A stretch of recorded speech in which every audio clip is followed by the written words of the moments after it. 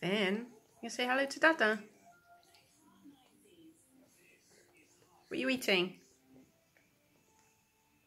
Cucumber and hummus. Is it nice? Yeah. Delicious. You like it, don't you?